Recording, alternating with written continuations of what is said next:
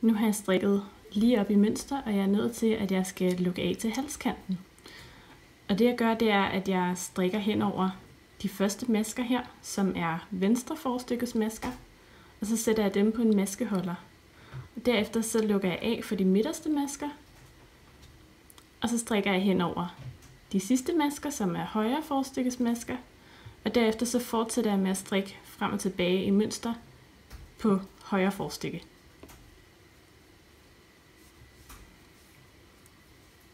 Så jeg fortsætter nu med at strikke i mønster hen over venstre forstykke.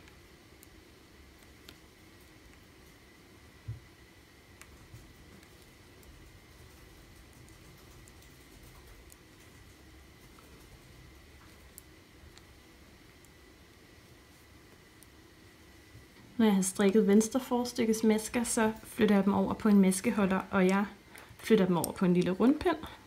Tager lige den her pind til side, og så flytter jeg bare maskerne en for en. Tager dem bare løst af pinden.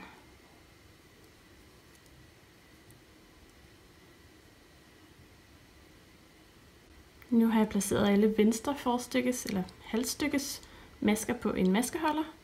Og nu lukker jeg af for de midterste masker, som er halskanten.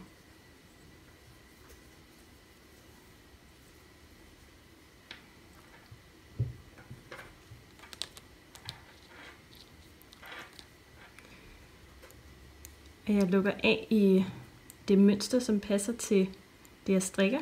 Så her der har jeg en retmaske, som jeg strikker ret. Og her der skal jeg strikke vrang, så den strikker jeg vrang. Og så hiver jeg den første af de to masker over den sidste.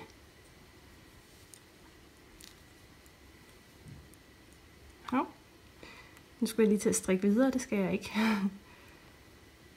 Sådan. Jeg lukker af.